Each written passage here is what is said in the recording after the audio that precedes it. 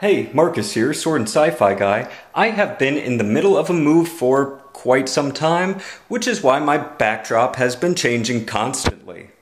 When I was in a hotel and still able to film, I made a video talking about some stuff about bats with self-defense, you know, baseball bats, not the vampire.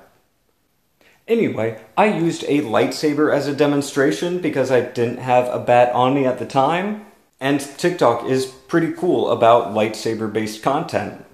So I brought one with me while we were at the hotel to film stuff about swords. Because, you know, that's kind of my job.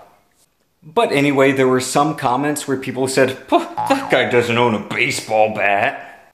Which is honestly kind of weird because my profile picture is me with a sword. I mean, you might consider that I'm not into baseball, but anyway, if my credibility somehow hinged on me owning a baseball bat to you, then just, I have one right here. It was packed with the high chair and some other stuff.